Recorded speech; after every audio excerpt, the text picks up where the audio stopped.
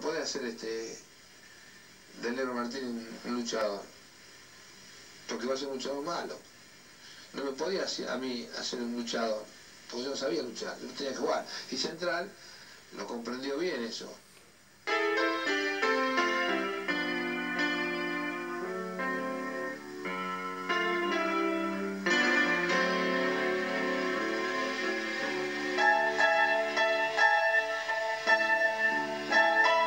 Central juega de una manera todo el año, juega bien Central. Dicen que era malo, pica piedra. Mamma mía, tiene un cuadrazo. Pero con nosotros no pica piedra. Metían y metían y metían y metían y, cuando la agarraban jugaba, jugaba el Pato Colman, que era un jugadorazo. Jugaba Hijito, jugaba Aldo, jugaba eh, el Chango Gramajo, jugaba Ramoncito Bóveda. Cuadrazo tenía.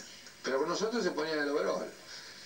Cortaban, cortaban, cortaban, cortaban. Jugaba Aymar, que no jugaba tanto, pero no, juega poco. Pero tenía un gran espíritu de sacrificio. Marcaba mucho, después era muy, muy disciplinado tácticamente. Y con nosotros ellos lo tenían bien asumido, que si no jugaban así no nos podían ganar. Nos ganaron casi siempre. La verdad que nos ganaron casi siempre. Ellos tenían más asumido que tenían que, jugar de otra manera. Ya te estoy diciendo, es como si vos todos los días vas para allá. Pero no es por mes, porque el viento viene de allá, eh, vas para allá. Vos ya lo sabés.